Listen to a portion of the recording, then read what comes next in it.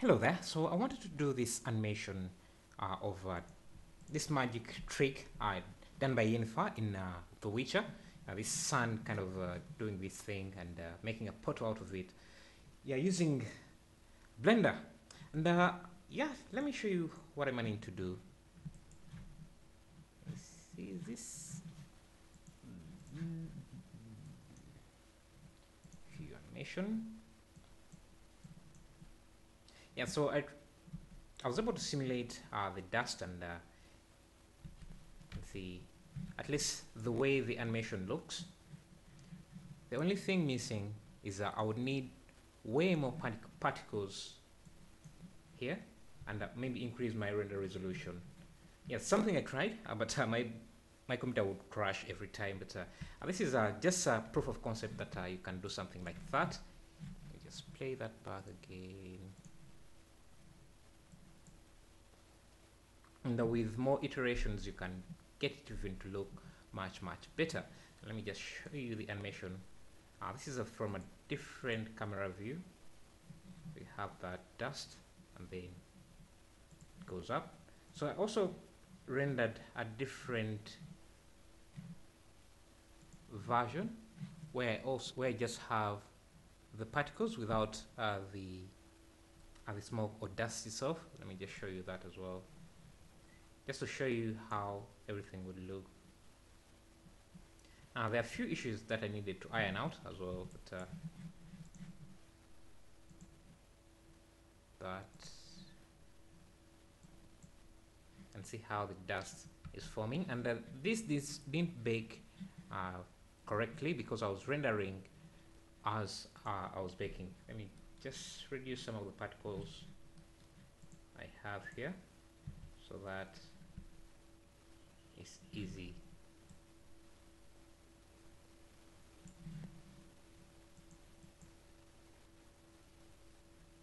Just reduce these from that to about okay and I'm also seeing because I, have just rendered this out I didn't really play back the animation because it was uh, 1 million particles I couldn't really my PC couldn't really handle the, that. And uh, just seeing a few issues here that I did not expect. Let me just see if I can get those fixed.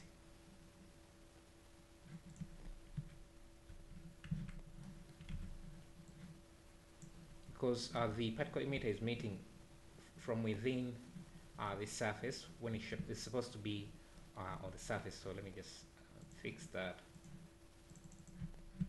for a second just use that vertex group and uh, ah, okay so I don't think that would work exactly as I expected it.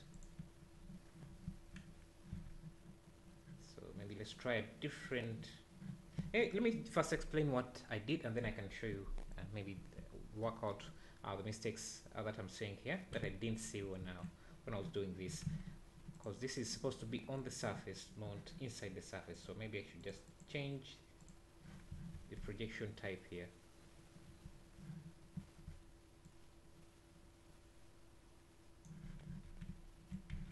yeah so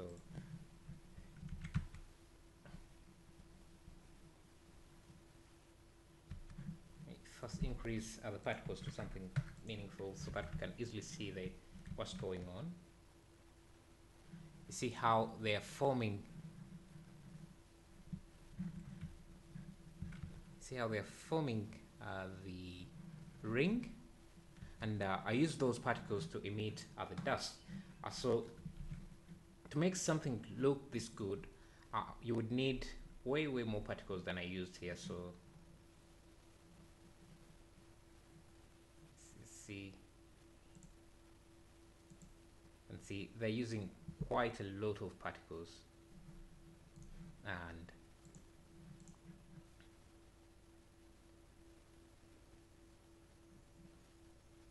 as you can see have the same thing but uh, just lower resolution and uh, lesser particles uh, just so that my computer can actually handle that so these and uh, let's talk about how I set the how I set this up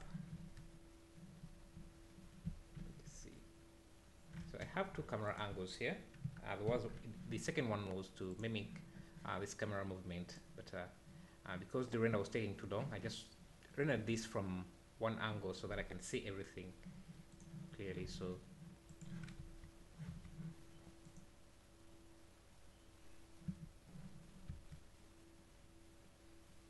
see would have the dust move and then make the ring like that. So let's talk about the setup itself. Um, the way I set it up is uh, I had this surface here, which was simply a mesh uh, with a displacement modifier. Let me first turn off everything here, all the modifiers, just to show you. So it was a simple mesh uh, like this, then gave it a displacement modifier, but I didn't want the uh, this bottom side uh, to be displaced, so I used a vertex group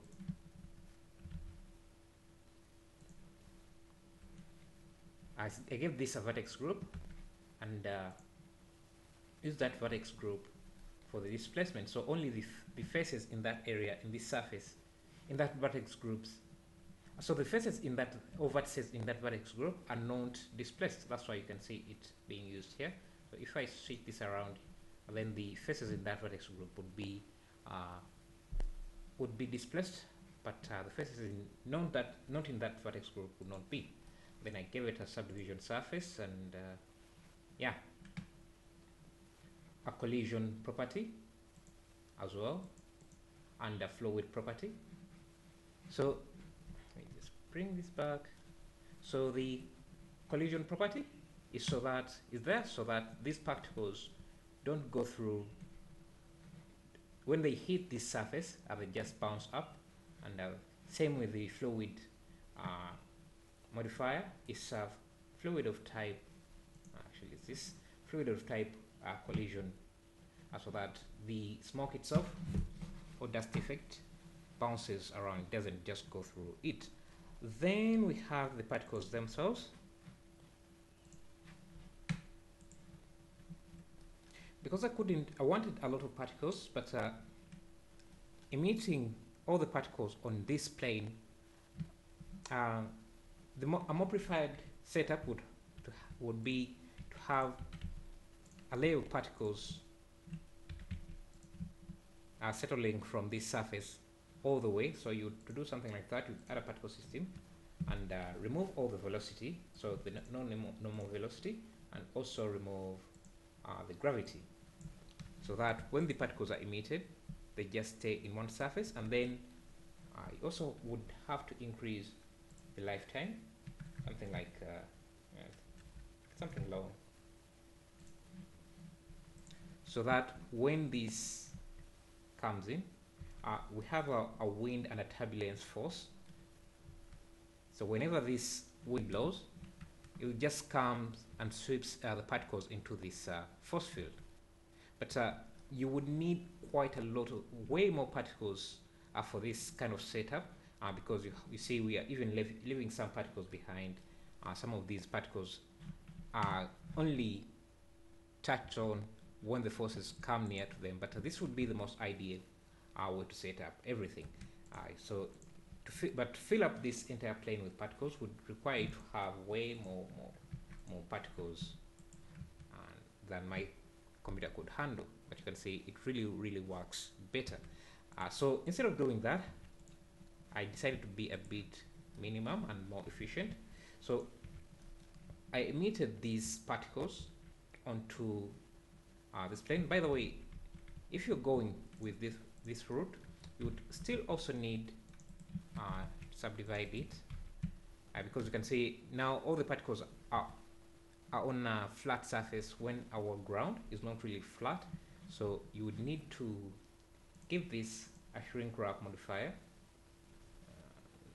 shrink wrap select this as the target so that your surface gets that uh, deformation and uh, you would need to make sure that the particle settings uh, the particle modifier is below uh, that shrink wrap modifier. So the particles are emitted following that deformation as well. Then you can do everything else there. Uh, I did it this way. Um, added the shrink wrap modifier and uh, okay I'm just realizing this now. Uh, my particle settings are above the shrink wrap modifier when they're supposed to be below. But uh, because these are this, these are small particles. You don't really see it that much but uh, they're supposed to be onto the surface so that they can be emitted following uh, the path of and I think you can see that uh, it looks way much better than if this is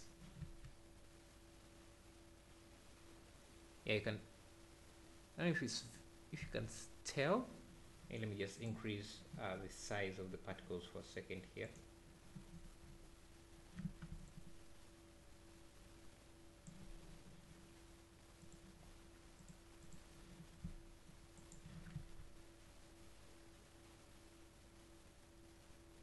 I think they do seem like they are following the the, the surface, but that could be simply because uh, the wind is blowing them onto the surface, uh, so it looks like they're actually being emitted from the surface. But uh, you should make sure that this is about below the shrink wrap. actually, this looks way much better. So you set up the particles. The way I set up the particles, again, I just showed you, you just remove all the velocity uh, I added this small velocity because some of the particles were being emitted inside this surface and I didn't want that so I added this, this normal velocity so that they are given a small velocity above the surface so, so that none of the particles are pushed into the surface. And uh, what else? I gave this some random rotation uh, the surface some random rotation uh, so that they have some angular momentum. Uh, make sure you have dynamic turn on and uh, increase the velocity for, uh, so that you can have those particles uh, rotate. Then the other settings I used here, I just changed the render object uh, from halo from a halo object to uh, this uh, plane here. Uh, I wish there was a better way to render points in Blender because these halo objects don't render. where they? These if if you choose if you chose halos they will not render so but uh, I wish we could render these because we can control uh, the size and they don't really take up a lot of computation power. Uh, the size is somewhere under display. Because they don't really take up a lot of uh, CPU power than uh, a mesh like this. And uh, that's why you see I'm using just three vertices for this polygon so that it doesn't take up too much resources.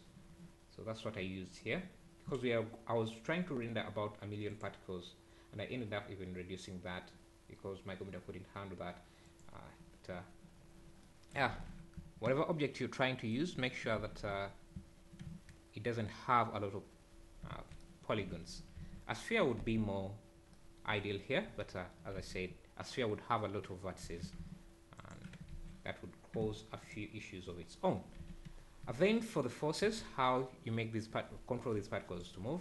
So first I animated this surface to move along uh, this other surface. And because it has uh, this shrink wrap modifier, it follows uh, that surface. And uh, then I parented this wind onto that surface. And just to make sure that all the particles don't move uh, and don't affect by the wind at the same time I gave I give this uh, a fall off uh, you can see just make sure makes sure that uh, only the force only the particles within this range within this sphere are affected by that wind so they're given that uh, push and then I have uh, this circle sphere uh, if you if you don't know how to use this, I made a tutorial about it.